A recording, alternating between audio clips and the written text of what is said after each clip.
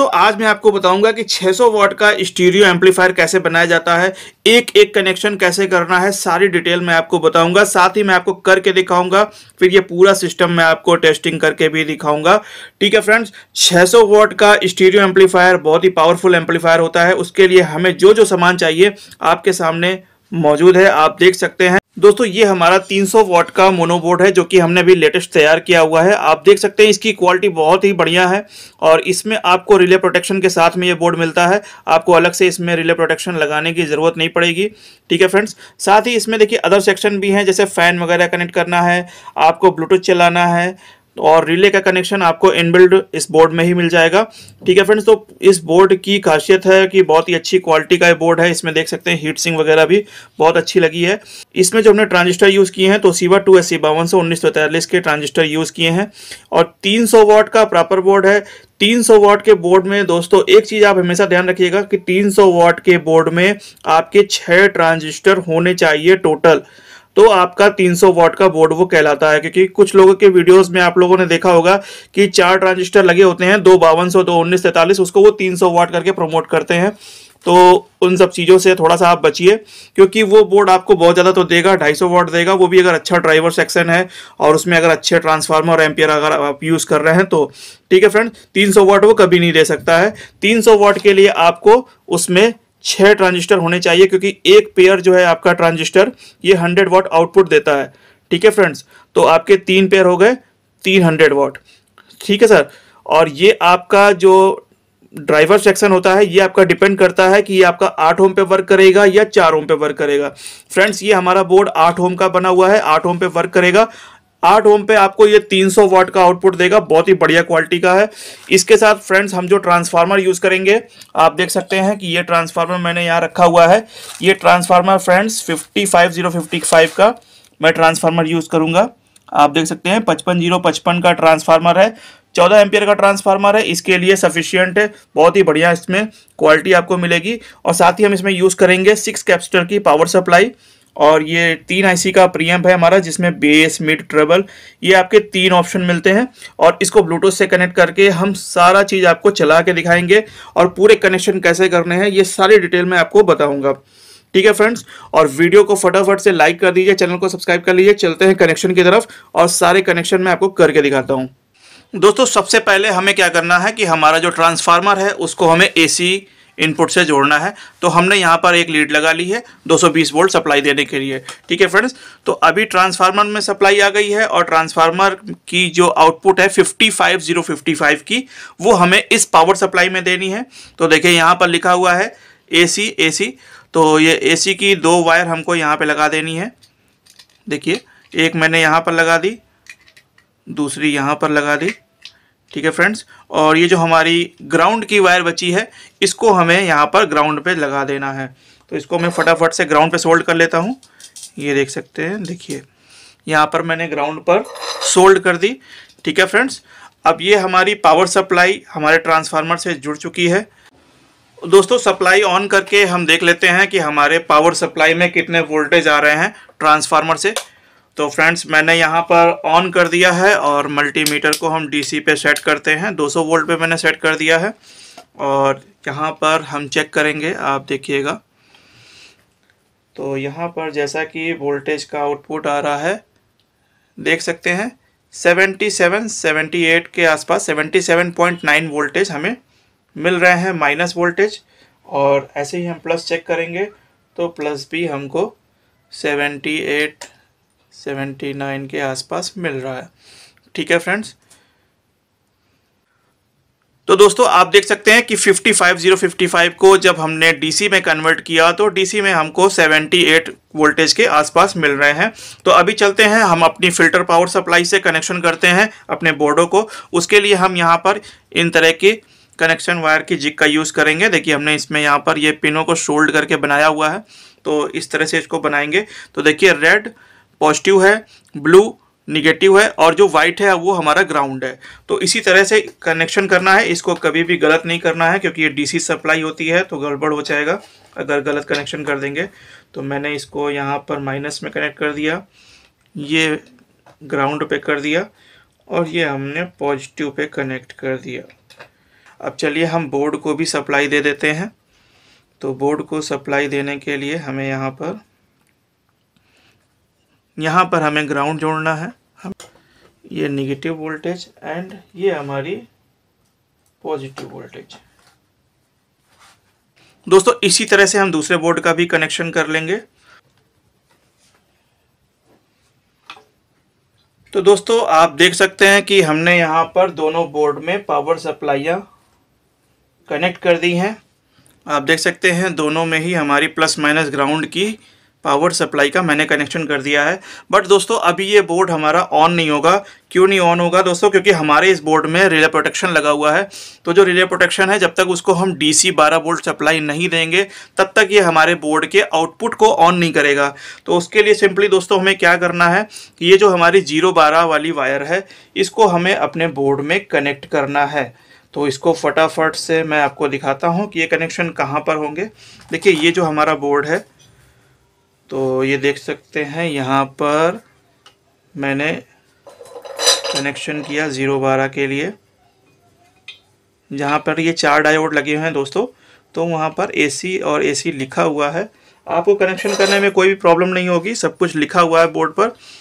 तो ये देख सकते हैं, मैं एक बार पीसीबी को आपको जूम करके दिखाता हूँ। देखिए, यहाँ पर लिखा हुआ है ना, ये देखिए ए सी ए सी तो यहाँ पर आपको जो ज़ीरो बारह की वायर है, वो आपको सोल्ड करनी है। मैंने सोल्ड कर दी है। आप देख सकते हैं यहाँ पर तीन एम्पियर के यहाँ पर डायोड चौवन ज़ीरो चार, चौवन ज़ीरो आठ, कोई भी डायोड आप यहाँ पे तीन एम्पियर के डायोड लगा सकते हैं। ठीक है फ्रेंड्स तो यहाँ पर देखिए हमने ज़ीरो बारह दी। तो हमारे इस बोर्ड को तो रिले प्रोटेक्शन को सप्लाई मिल गई। ये बोर्ड हमारा ऑन हो गया। बट हमें इस बोर्ड को भी ऑन करना है। तो उसके लिए दोस्तों सिंपली एक हमने यहाँ पर जिक ली। और ये जो हमारा 12 वोल्ट का आउटपुट है तो इससे हम यहाँ कनेक्ट करेंगे। और मैं इसको सिंपली दूसरे बोर्ड में 12 वोल्ट डीसी सप्लाई दे दूँगा। तो यहाँ पर मैंने जोड़ दी है।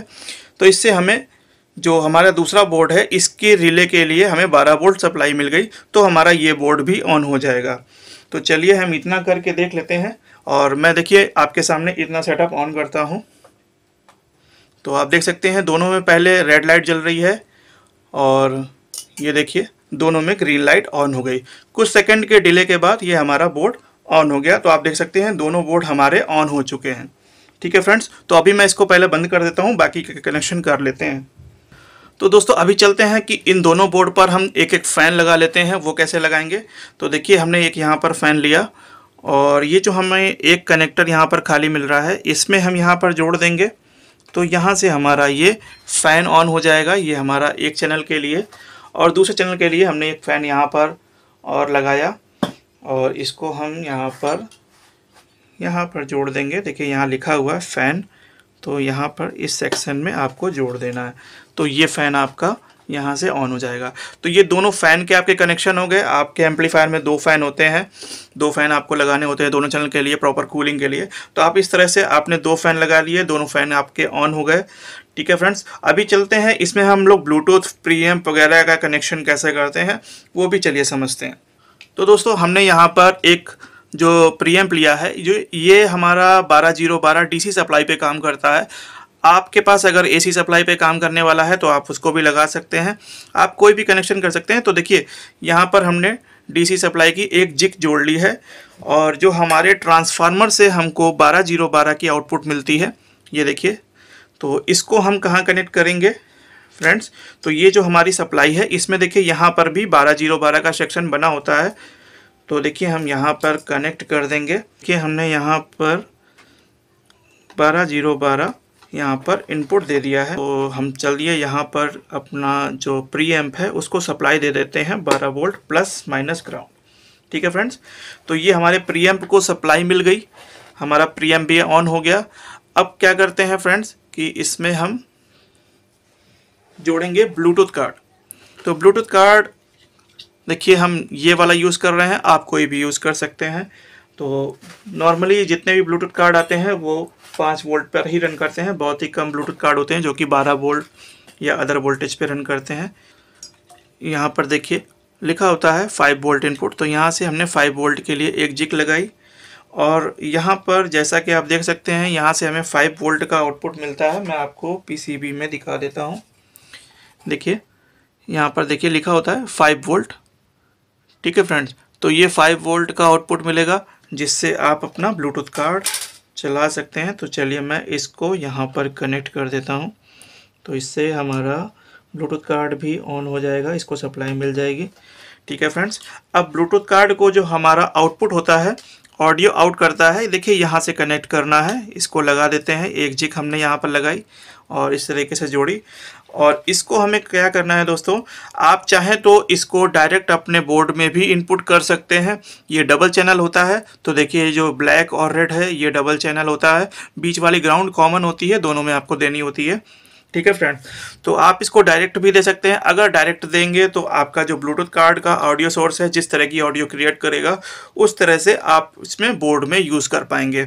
अगर आपको उसकी फ्रिक्वेंसी अपने अकॉर्डिंग एडजस्ट करके चलानी है तो उसके लिए आपको एक प्री एम्प यूज़ करना पड़ता है। ठीक है फ्रेंड्स तो देखिए, जो हमारा ब्लूटूथ कार्ड का ऑडियो ये आउट है, इसको हमें देना है अपने प्री एम्प के ऑडियो इनपुट सेक्शन में। हमेशा ध्यान रखिएगा दोस्तों, जो हमारा ब्लूटूथ कार्ड या फिर आप आर सॉकेट या किसी भी चीज़ से कनेक्ट करते हैं तो जहाँ से ऑडियो आउट होती है, वो हमेशा इनपुट में ही जाती है। तो यहाँ पर आपने प्रीएम में ऑडियो इनपुट कर दिया। अब यहाँ से जो ऑडियो आउट हो रही है, इस ऑडियो आउट को हमें अपने दोनों बोर्ड के ऑडियो इनपुट में देना है। ठीक है फ्रेंड्स तो इसके लिए हमने यहाँ पर इस तरह से एक जिक से ये दो जिक का कनेक्शन कर लिया है दोनों बोर्डों के लिए। ठीक है फ्रेंड्स तो यहाँ पर देखिए मैं एक जिक लगाता हूँ ऑडियो आउटपुट के लिए। और इनको मैं जोड़ देता हूँ दोनों बोर्ड के ऑडियो इनपुट में। तो देखिए यहाँ पर ऑडियो इनपुट है। ये जो हमने यहाँ पर कनेक्ट कर दिया। ठीक है फ्रेंड्स तो आप देख सकते हैं थोड़ा सा हॉच पॉच हो गया है क्योंकि ओपनली वायरिंग करना इतना इजी नहीं होता है और देखने में थोड़ा वैसा लगेगा। जब इसको आप कैबिनेट में एक बढ़िया एम्पलीफायर में आप तैयार करेंगे तो उससे क्या होगा कि आपको सारी वायर वगैरह एडजस्ट करने का, सब कुछ केबल टाई वगैरह लगा के कर देंगे तो उससे आपको बहुत ही बढ़िया लगेगा। तो देखिए, हमारा सिंपली सारे कनेक्शन हो चुके हैं और मैं अभी इसमें स्पीकर की वायर जोड़ना बाकी है। मैं इसमें स्पीकर की वायर जोड़ लेता हूँ।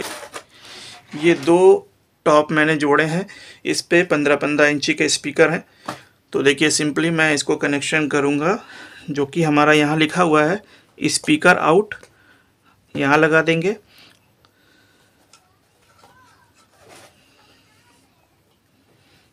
ठीक है फ्रेंड्स, और ये स्पीकर ग्राउंड, यहाँ जोड़ देंगे। तो ये हमारा एक चैनल का कनेक्शन हो गया। ये हमारा दूसरा चैनल का कनेक्शन हम कर लेते हैं।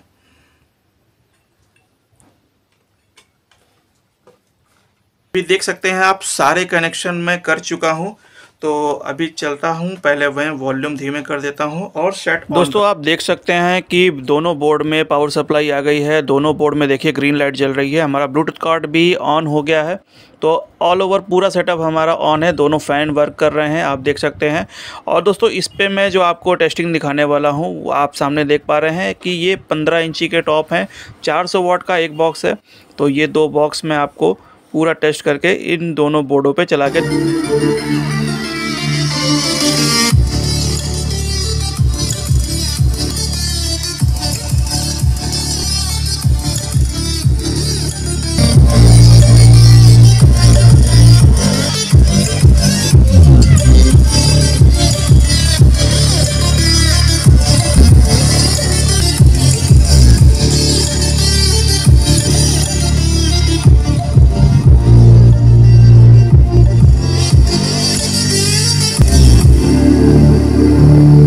दोस्तों, हो सकता है आपको थोड़ा बहुत नॉइस सुनाई दे रहा हो, क्योंकि तो दोस्तों, ये ओपन वायरिंग है तो इसमें जो वायर वगैरह यूज़ हुई हैं, ये बहुत ही नॉर्मल वायर होती हैं तो इसमें थोड़ी बहुत हमिंग वगैरह आपको समझ में आ सकती है। बट इसको जब आप प्रॉपर एम्पलीफायर में माउंट करेंगे और अच्छी वायर का वगैरह यूज़ करेंगे कॉपर की वायरों का यूज़ करेंगे, जैसे ये जो हमारी जिग वगैरह होती हैं, सब एलमोनियम की होती हैं, इसलिए थोड़ा सा इसमें हमिंग वगैरह ऐसे ओपन चलाने में आ रही है। बाकी जब इसको कैबिनेट में माउंट करेंगे ग्राउंडिंग करेंगे कैबिनेट में तो आपको बिल्कुल भी कोई नॉइज़ नहीं मिलेगा, बहुत ही बढ़िया।